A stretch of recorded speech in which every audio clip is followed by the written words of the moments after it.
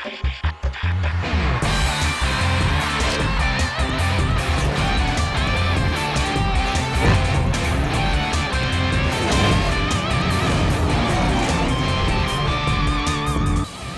আমন্ত্রণ খেলাধুলা নিয়ে ইন্ডিপেন্ডেন্ট টেলিভিশনের নিয়মিত আয়োজন, যত খেলায়। আপনাদের সাথে আছি সাইদ সাদিয়ার শুরুতেই জানাব শিরোনাম।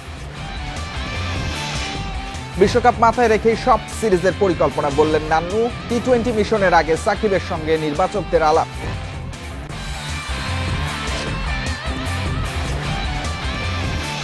শেষ ওয়ানডে জয় টি টোয়েন্টি সিরিজের প্রেরণা। সাকিবের নেতৃত্বে ইংলিশ বধের চ্যালেঞ্জ, ব্যস্ত সূচিতে ধারাবাহিকতায় মূল মন্ত্র।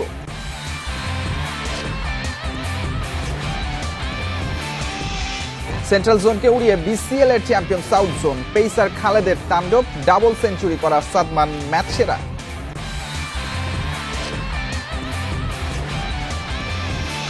অনূর্ধ্ব বিশ নারী এশিয়ান কাপের মূল পর্বে চোখ বাংলাদেশের ঘরের মাঠে বাছাই পর্ব নিয়ে আত্মবিশ্বাসী কোচ আর অধিনায়ক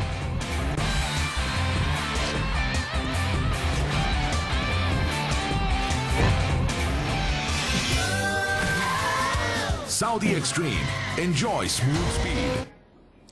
ইংল্যান্ডের বিপক্ষে শেষ ওয়ানডে জয় টাইগারদের আত্মবিশ্বাস বাড়াবে। সামনের প্রতিটি ম্যাচ ওয়ানডে বিশ্বকাপের পরিকল্পনা মাথায় রেখে খেলা হবে, জানিয়েছেন প্রধান নির্বাচক মিনহাজুল আবেদিন নান্নু। বলেছেন, ঘরোয়া ক্রিকেটেও নজর থাকবে নির্বাচকদের। সাকিবের মতো ক্রিকেটারের সঙ্গে কাজ করা বড় বিষয়, মানছেন নান্নু।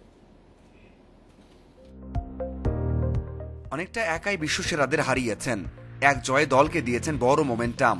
ওয়ানডের চেয়ে বেশি চ্যালেঞ্জের হবে টি টোয়েন্টি সিরিজ। তাই তো সাকিবের সাথে একের পর এক বৈঠক সেরেছেন নির্বাচকেরা।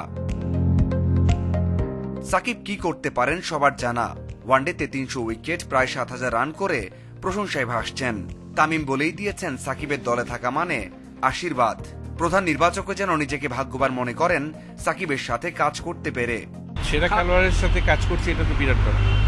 সেরা পারফরমেন্স দেখছি সামনে থেকে এটা বিরাট ব্যাপার। বেস্ট প্লেয়ার সাথে আছে এটাই তো সবচেয়ে বড় বিশ্বকাপের আগে প্রতিটা ম্যাচ গুরুত্ব সহকারে নিচ্ছেন নির্বাচকেরা।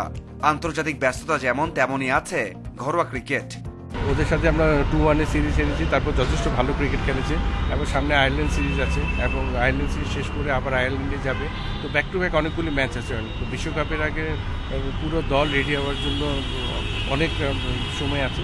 তো আশা করছি এখন বিশ্বকাপের আগে সেরাটাই আমাদের খেলোয়াড়রা দিতে পারবে। তৃতীয় ওয়ানডেতে দর্শক কম থাকায় আলোচনা হয়েছে অনেক। নান্নু বিষয়টা দেখছেন অন্যভাবে। তবে বিশ্বাস করেন টি টোয়েন্টিতে হাউসফুল থাকবে গ্যালারি। কর্মদিবসে খেলাটা পড়ছে আর স্টেডিয়ামটা একটু দূরে। তো সে কারণে হয়তো দর্শক একটু কম হয়েছে। আমার মনে হচ্ছে নয় তারিখে আপনার ফুল হাউস পাওয়া যাবে আশা করছি। টি টোয়েন্টি মিশন শুরুর আগে মুস্তাফিজ সাকিবরা একদিনের বিশ্রাম পেয়েছেন। হোটেলেই যে যার মতো করে সময় কাটিয়েছেন। সাগরিকায় প্রথম টি টোয়েন্টি বৃহস্পতিবার। যেখানে ওয়ানডে শেষ হয়েছে, সেখান থেকে টি টোয়েন্টি মিশন শুরু করতে চাইবে বাংলাদেশ দল।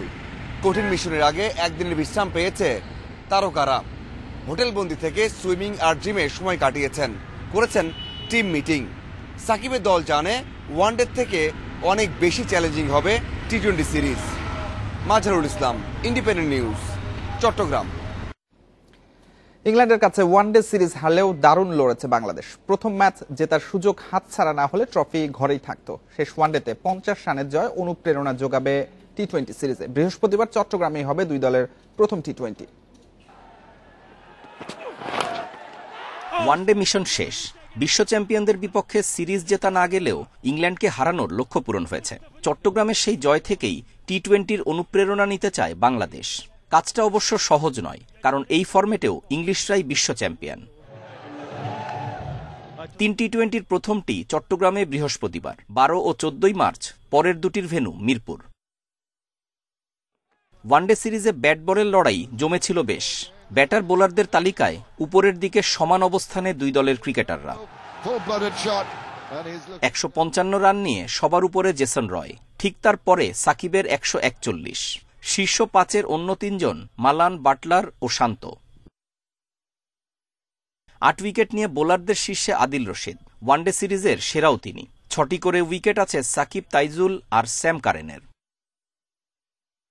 একশো একচল্লিশ রানের সঙ্গে ছয় উইকেটের পরও হেরে যাওয়া দলের সদস্য বলে সিরিজ সেরা হননি সাকিব। কিন্তু প্রথম বাংলাদেশি হিসাবে ওয়ানডেতে তিনশো উইকেট ক্লাবের সদস্য হয়েছেন।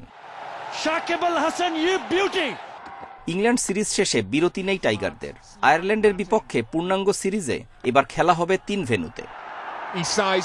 before. আঠারো বিশ আর তেইশে মার্চ ওয়ানডে সিলেটে। এরপর সাতাশ উনত্রিশ ও একত্রিশ মার্চ টি টোয়েন্টির ধামাকা চট্টগ্রামে।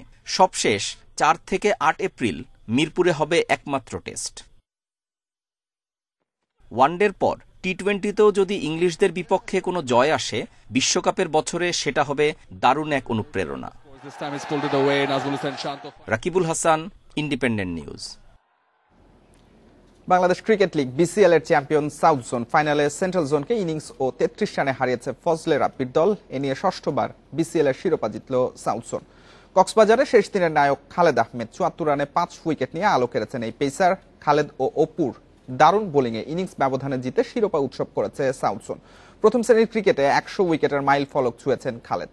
ফলোঅনে পড়া সেন্ট্রাল জোনের ইনিংস পরাজয় এড়াতে দরকার ছিল। দুশো ছয় রান, শেষ দিন শরীফুল্লাহ আর আবু হায়দার রনির ফিফটি শুধু ব্যবধান কমিয়েছে।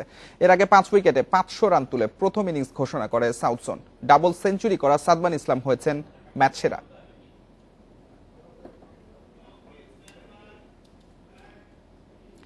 এফসি অনূর্ধ্ব বিশ নারী এশিয়ান কাপ বাছায় ভালো করতে মুখিয়ে বাংলাদেশ। শারীরিক গঠন আর গতিময় ফুটবলে গ্রুপ চ্যাম্পিয়ন হয়ে মূল পর্বে যাওয়ার আশা কোচ গোলাম রাব্বানি ছোটনের। দশ মার্চ কমলাপুরে তুর্কমেনিস্তানের বিপক্ষে ম্যাচ দিয়ে শুরু লাল সবুজের মিশন। সাউথ এশিয়ায় নিজেদের শ্রেষ্ঠত্ব প্রমাণের পর এবার বয়সভিত্তিক আসরে এশিয়ান লেভেলে লড়াইয়ের পরীক্ষা বাংলাদেশের মেয়েদের। এফসি অনূর্ধ্ব বিশ নারী এশিয়ান কাপের বাছাই পর্বে প্রথমবারের মতো অংশ নিতে যাচ্ছে গোলাম রব্বানি ছোটনের শিষ্যরা। এর আগে অনূর্ধ্ব ষোলো পর্যায়ে সাফল্য আসলেও বাকি আসরগুলোতে নেই তেমন কোনো সফলতা। গ্রুপ এইচে বাংলাদেশের প্রতিপক্ষ ইরান ও তুর্কমেনিস্তান। র্যাঙ্কিং ও শক্তিমত্তায় এগিয়ে থাকলেও লাল সবুজের মূল অস্ত্র, শারীরিক গঠন ও গতি, এমনটাই বলেছেন কোচ গোলাম রব্বানি ছোটন। তারাও ভালো টিম ফিজিক্যালি তারাও আমাদের থেকে এগিয়ে থাকবে। তারপরে আমাদের মেয়েদের সাম্প- সাম্প্রতিক সময়ের যে পারফরমেন্স এবং তাদের যে ফিটনেস লেভেল এবং তারা যে মাঠে যে পরিশ্রম করতেছে তো সবকিছু মিলে আমরা, আমাদের লক্ষ্য যে আমরা ম্যাচ বাই ম্যাচ জিততে চাই। ফিটনেস এবং যে আমাদের দ্রুত দ্রুতগতির যে ফুটবল এটা আমি মনে করি তাদের থেকে ডিফারেন্স হবে। গ্রুপ চ্যাম্পিয়ন হলেই মিলবে মূল পর্বের টিকিট। সাফ অনূর্ধ্ব বিশ চ্যাম্পিয়ন দলের ফুটবলাররাই খেলবে এফসির এই টুর্নামেন্টে। সেজন্য বাড়তি আত্মবিশ্বাস নিয়েই মাঠে নামবে অধিনায়ক শামসুন নাহার। তো আমরা সেকেন্ড রাউন্ডে যাওয়ার জন্য ফার্স্ট রাউন্ডে দুটো ম্যাচই উইন করতে হবে। তো আমাদের লক্ষ্য থাকবে ফার্স্ট রাউন্ড জেতা এবং ইরান এবং তুর্কমেনিস্তান দুই টিম অনেক শক্তিশালী টিম তো ওরা ফিজিক্যালি অনেকটা হচ্ছে ভালো, তো আমরা ফিটনেসের দিকেও আমরা অনেক ভালো, তো এটা মাত্র দেখা যাবে। আমরা আমরা সর্বোচ্চটা দিয়ে খেলব। ড্র কিংবা হারে জটিল হবে সমীকরণ, আট মার্চ টুর্নামেন্ট শুরু হলেও বাংলাদেশের লড়াই দশ মার্চ তুর্কমেনিস্তানের বিপক্ষে। কমলাপুরের আর্টিফিশিয়াল টার্ফে বারোই মার্চ ইরানের মুখোমুখি হবে গোলাম রব্বানি ছোটনের শিষ্যরা। Kamrul Hasnat independent news Dhaka.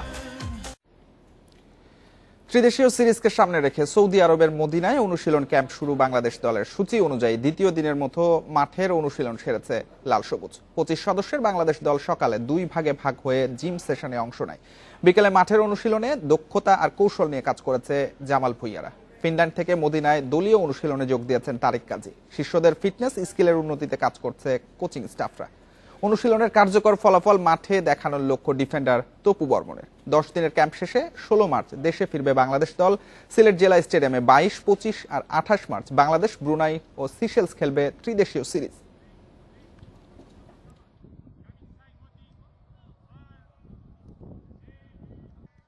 আমার কাছে মনে হয় যে এই সৌদি আরব এসে আমাদের এই কন্ডিশন ট্রেনিংটা আমার কাছে মনে হয় আমাদের দেশের জন্য এবং প্লেয়ারদের জন্য অনেক ইম্পর্টেন্ট কারণ আমরা এখানে কি করছি বা কি করছি না, এগুলা কিন্তু অনেক ইম্পর্টেন্ট আর ফ্যাসিলিটিস তো অবভিয়াসলি খুবই ভালো।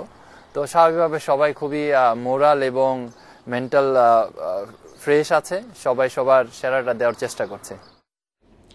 মেসি ম্যাজিকে ছত্রিশ বছর পর বিশ্বকাপ জিতেছে আর্জেন্টিনা। পিএসজির জার্সিতেও দারুণ এক মৌসুম পার করছে সদ্য ফিফা দ্য বেস্ট পুরস্কার জেতা এই ফুটবলার। এবার ফরাসি ক্লাবটির হয়ে জিততে চান চ্যাম্পিয়ন্স লিগ শিরোপা। পিএসজিতেই খুশি আছেন, জানিয়েছেন মেসি। এক ম্যাচের কাঁধে ভর করেই তৃতীয় বিশ্বকাপ উঁচিয়ে ধরে আলবিসেলেস্তারা তাই জয়োল্লাসের কেন্দ্রেও ছিলেন তিনি। আর ক্লাব ফুটবলে গত এক যুগে হয়ে আছেন সেরাদের সেরা। বর্তমানে পিএসজির হয়ে মাঠ দাপিয়ে বেড়াচ্ছেন।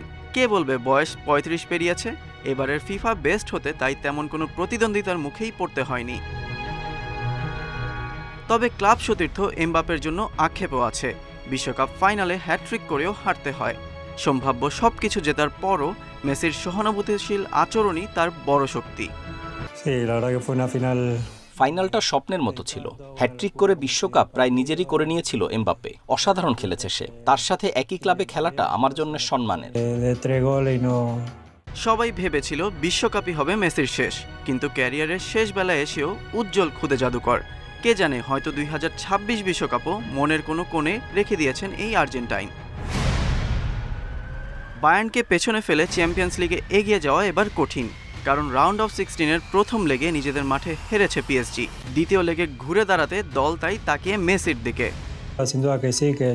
বায়ার্ন খুবই শক্ত প্রতিপক্ষ।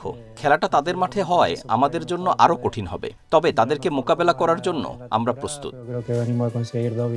প্যারিসে তার প্রথম মৌসুম ভালো না কাটলেও এখন সময়টা দারুণ উপভোগ করছেন। সেটাও অকপটে স্বীকার করেছেন এই ফুটবল কিংবদন্তি। ক্লাবের হয়ে সব প্রতিযোগিতা মিলিয়ে এখন পর্যন্ত উনত্রিশ ম্যাচে আঠারো গোলের পাশাপাশি সতীর্থদের দিয়ে করিয়েছেন ষোলোটি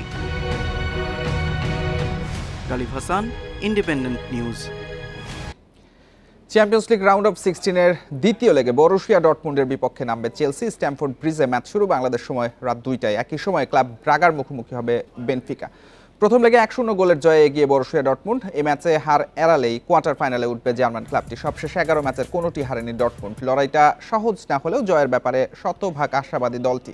অন্যদিকে গ্রাহাম পোটারের অধীনে নরবরে অবস্থানে চেলসি। ইপিএলে আছে টেবিলের দশ নম্বরে। সবশেষ সাত ম্যাচে জয়ের দেখা পেয়েছে মাত্র একবার। ইঞ্জুরির কারণে এই ম্যাচেও কান্তে আর সিলভাকে ছাড়াই মাঠে নামতে হবে চেলসিকে।